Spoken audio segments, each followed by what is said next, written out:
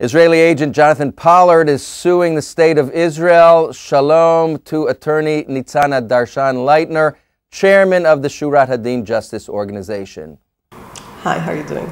Today you petitioned in a Tel Aviv court requesting that the state declare that Jonathan never received any financial assistance from the state since he was arrested until today.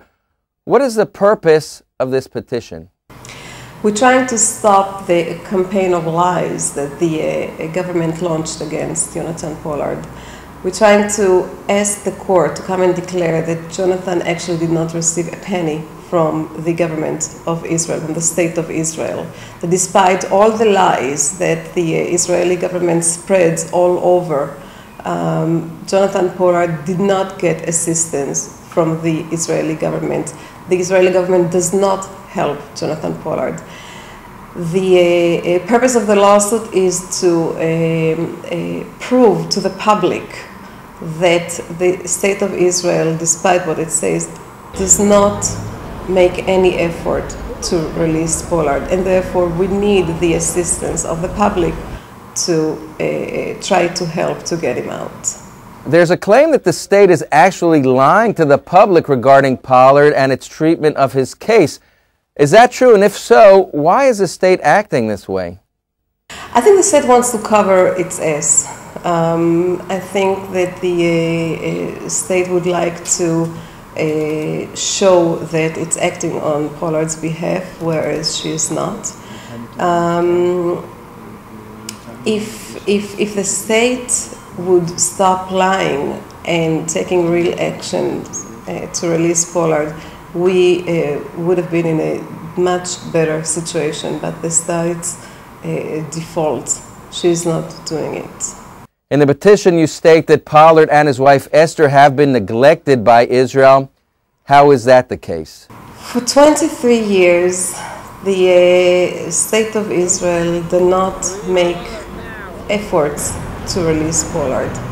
We know that in the beginning, the, uh, uh, the state of Israel was the one who sent Pollards to the FBI cars in the embassy in Washington. We know that the state of Israel gave the uh, uh, American investigators the clue that uh, put Pollard in prison forever. We know that they provided them with the documents that Pollard provided the state of Israel with his fingerprints on them, and due to them, and only due to them, they, the American uh, authority were able to uh, uh, trial Jonathan and give him a harsh punishment.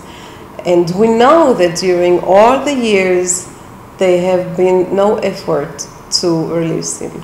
Now the government comes and lies about these efforts. And to set an example, they say the same way we support him financially, we are doing and acting on his behalf to release him, which is untrue. This week, Pollard is marking we can't say celebrating his 54th birthday and he's still in prison. Do you actually think he could have been out by now if the state of Israel had acted differently in his case? Absolutely.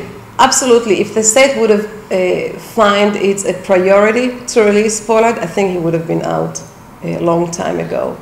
I also believe that the state of Israel has to come through and to apologize to the American authorities and to admit, maybe for the first time, that the Pollard operation was not a wrong operation, that it was an operation that was approved by the highest rank in the Israeli government, that everybody knew about Pollard, everybody knew what he did, including the prime ministers and all the rest of the ministers and the uh, heads of the IDF and therefore Israel was behind this operation. Uh, so far, we know that Israel lied concerning that. Israel claimed that it was a rogue operation where it was not. And if Israel comes now for the first time and admits to the American uh, authorities that they all knew about Pollard and Pollard was approved by them, I believe the American government will finally let him free. Attorney Nitzana Darshan Leitner, Shurat Hadin, thank you very much for joining and enlightening us. Thank you.